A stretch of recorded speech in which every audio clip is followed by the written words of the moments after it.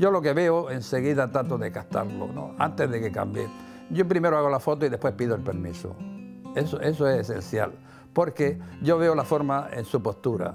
En un momento determinado yo me di cuenta cuando hay una, una, una serie de circunstancias especiales, le dan un realce que crean una obra que, que, que puede ser de arte.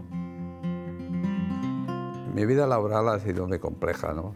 Son 60 años de fotografía. Era aficionado ya a la fotografía a través de mi padre, que tenía un laboratorio, y era un aficionado. Pero fuera un aficionado con ciertas inquietudes y, conseguí que me hicieran unos contratos para hacer carteles, hacer folletos. Estoy hablando de los años 70, 75. Y era una fotografía en el que yo coincidí con grandes fotógrafos como fue Catala Roca, como fue eh, Massat, Montañón, Siganovich.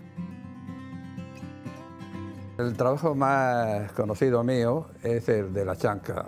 La Chanca que es un barrio de Almería en el que yo traté de hacer un documento social, humano, no de denuncia, sino más bien buscando a aquella gente, la mirada de, por ejemplo, de los niños. Coincidió también un relato que hizo Juan Solo, en la que nosotros después hemos coincidido y somos buenos amigos. En los años 70 se hicieron aquí un aeropuerto y empezaron a venir vuelos charters con turismo. Al venir ese, ese turismo, pues invadieron con, con sus cuerpos groseros, ¿no? y a mí me llamó mucho eso la atención, con lo cual le hice fotos que estaban dentro de una tendencia hiperrealista, una tendencia Kiss más bien. Y en eso pues hice un libro que se llama Color del Sur, la playa, en la que esas fotos, eh, ahora mismo, estando hechas en el año 70 o 80, siguen teniendo vigencia porque son intemporales.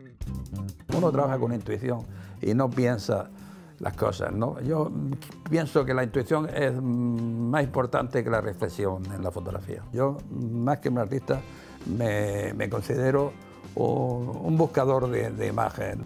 No me creo una persona que en la, en la fotografía sea extraordinario porque soy bastante humilde en ver el trabajo de los demás, de los grandes maestros.